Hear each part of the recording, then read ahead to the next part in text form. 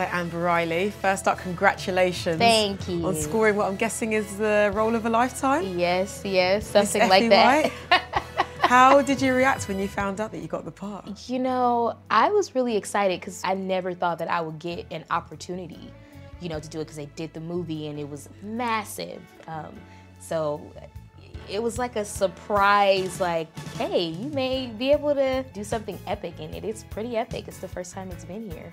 And would you say that uh, being in Glee was good training for this moment? Oh, absolutely. I always say that being on Glee has prepared me for whatever it is that I want to do in life because we literally did everything on that show dance, sing, record, act, everything on that show. So it definitely was my training ground. And Jennifer Holliday, kind of, you know, well, she originated that role. Have you managed to have a conversation with her about you doing this? I haven't. I've, I've actually sang with Jennifer Holliday before. I've met her numerous times, but it was before this. But I have gotten to speak to Loretta Devine and Sheryl Lee Ralph, mm-hmm. who were Lorrell and Deena. So, you know, I want to make them proud. I really want to make them proud. So from October, London is going to be your home. Now, I know this isn't your first time here.